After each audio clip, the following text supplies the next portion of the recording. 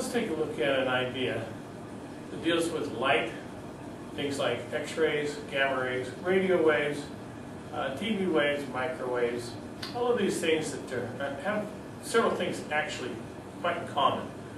First of all, they separate themselves from things like sound waves and pond waves because they don't require a medium to transfer through. If you look at the light from the sun, the sun uh, 150 million kilometers away, the light will travel in eight minutes.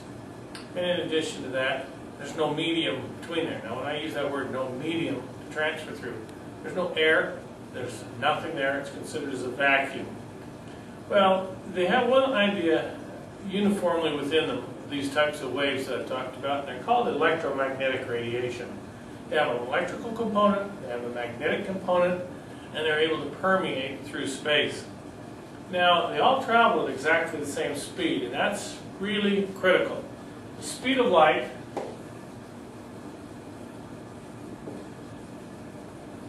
in a vacuum is 3.0 times 10 to the 8 meters per second.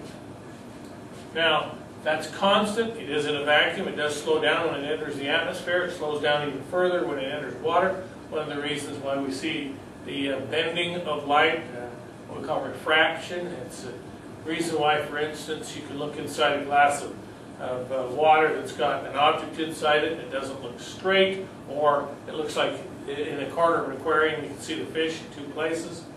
So the, the um, refraction of light is a function of the change of speed of the light as it enters another medium, coming in from a vacuum or coming in from air to, to a liquid, etc.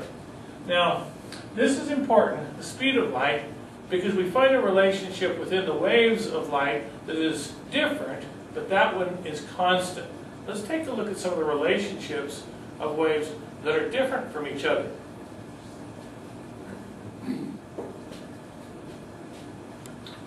let's look at the frequency of a wave and the wavelength. Now let's first of all start with the wavelength. If I look at a wave, any given wave, the distance between two crests from here to there is defined as the wavelength. Now we use the Greek letter lambda to indicate wavelength.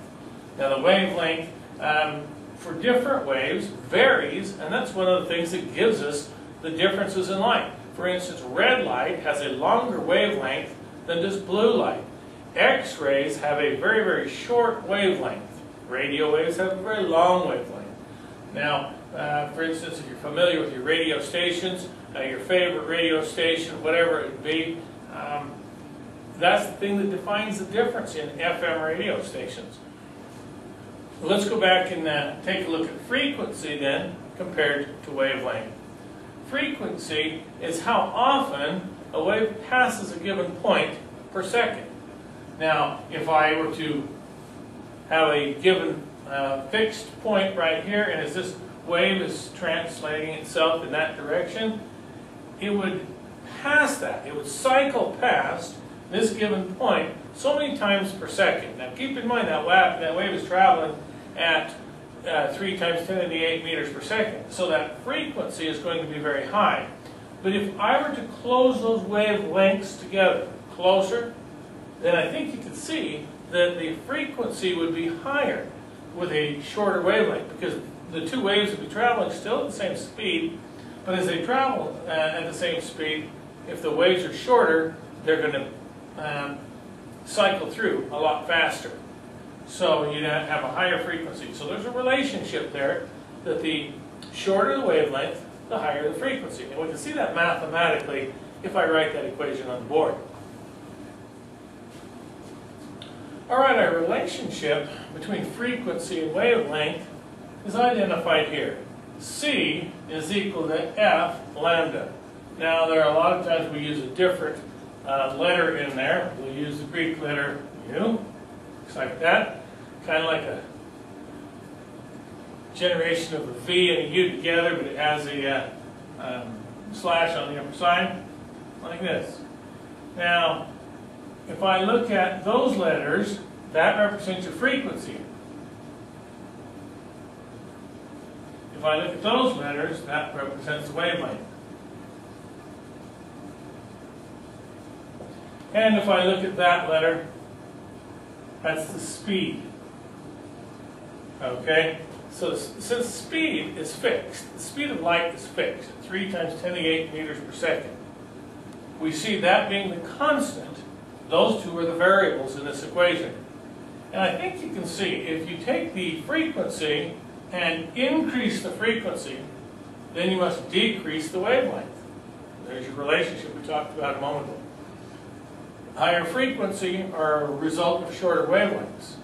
Now, if I look at a chart that has the frequency posted against the wavelength, then I'm able to actually recognize that relationship. Radio waves have very long wavelengths and low frequencies. Gamma rays, the most deadly of the bunch, have very short wavelengths and very high frequencies. Now let's look at the relationship that we have within frequency and wavelength and how we can actually, we, we keep talking about how damaging certain waves are. Gamma rays are extremely deadly. Well, the question is why? What in the relationship of frequency or wavelength actually causes that damaging effect of the waves? And it comes to a relationship of energy and how the energy is associated. A man named Max Planck came up with a relationship where he said that the energy associated with a photon of light, now you'll recall that a photon of light is a small bundle of light, is equal to the constant, he called Planck's constant, multiplied by the frequency, like that. Now, this constant has a numerical value. We'll talk about that in just a moment. But I think you can see then, since that's an output, that's an input, and that's a constant, as I increase the frequency, I increase the energy. So when I go from low frequencies of radio waves with a small amount of energy, then I see a high frequency of gamma rays, I see a high energy associated. So the energy is directly proportional to the frequency of the light that's associated. Let's try a couple of problems with this one.